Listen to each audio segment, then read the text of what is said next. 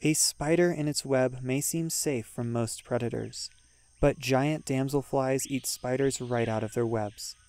Giant damselflies are in the family Pseudostigmatidae and are also known as helicopter damselflies or forest giants.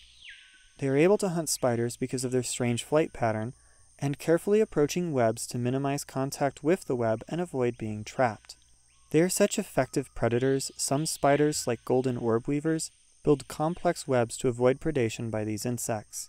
When it comes to breeding, the damselflies lay eggs in phytotelmata, or small cavities of water inside terrestrial plants, like inside a bromeliad, where the naiads dominate as the top predators of these little ecosystems. If you enjoyed this fast fact video, be sure to subscribe to Ecotasia for more wildlife content.